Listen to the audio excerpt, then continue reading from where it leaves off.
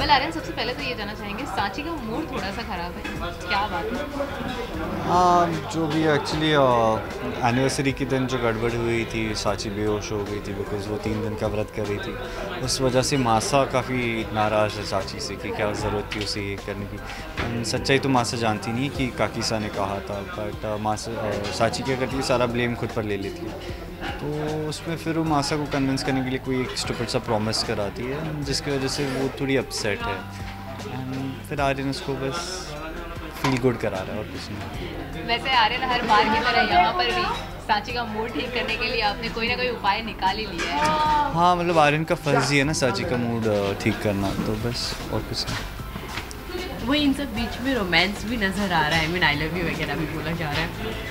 हाँ मतलब चाहे कभी भी कुछ भी, कोई भी प्रॉब्लम हो, अगर आप अच्छे साझेदार हैं तो रोमांस कभी ख़त्म नहीं होना चाहिए। ईडियट आर्यन बीच में भूल गया था क्योंकि इतनी बड़ी प्रॉब्लम हो गई थी शादी में, काफ़ी गुस्सा था साची से। एक्चुअली साची से गुस्सा नहीं था सबका गुस्सा साची पे निकाल रहा था बिकॉज़ आप क्या है, आप जिससे सबसे ज़्यादा प्यार करते हैं, आप उसी पे सबसे ज़्यादा गुस्सा हो सकते हो। तो बस वही था।